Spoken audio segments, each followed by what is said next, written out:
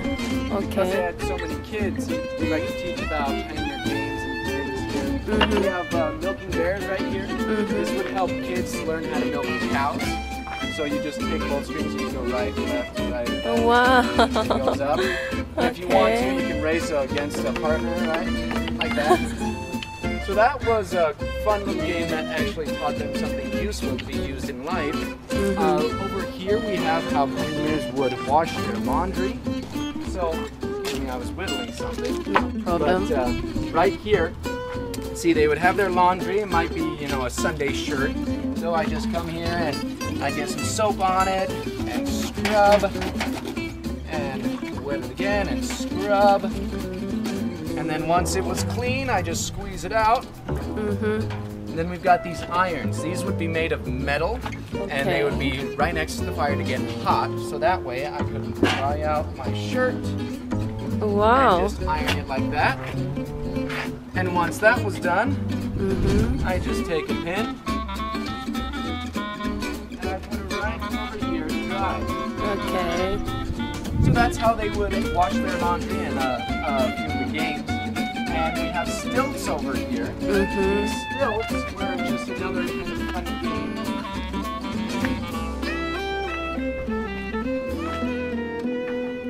When these stilts, you step on them like this. You start to walk around. and it's a fun little game to see how long you can last. I can't Okay.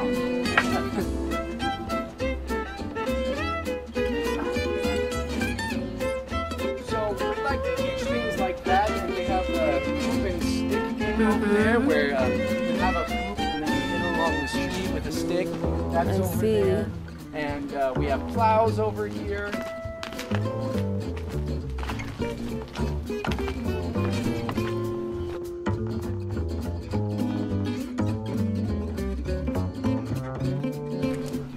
This is the original cabin, as I said, 150 years old. Oh, And it kind of shows how small the space was and what kind of things they could have done. You see another milking bear here.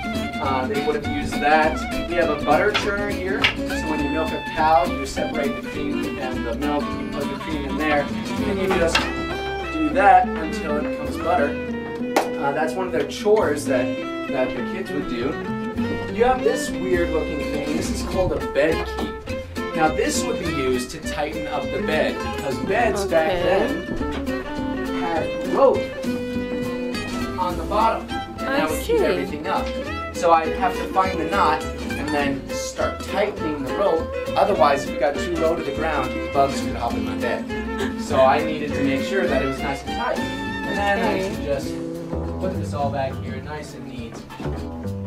And the only people allowed to sleep on the bed were the parents. Now they had 10 children. That was Mhm. seven boys and three girls. All the boys slept outside. Oh, Now, if it was- really? If it was cold outside, they could go upstairs into a loft. There's a ladder on the other side of the house. Uh-huh. They could go upstairs and sleep in there, but it was so small, you just crawl in and fall asleep, wake up and crawl out. Okay. And then the three girls would sleep next to the fire to keep. But the only people allowed on the bed were the parents. I see. I'm not as tidy as uh, my partner out there. Here we are. And uh, another just interesting thing right here, these candles. Now, in the pioneer days, they would have either made candles like this or they would have had a candle holder. And that's because when they made candles, it was really expensive to make them just out of wax. So they would mix animal fat in. That would make them a little bit cheaper and they would still burn bright.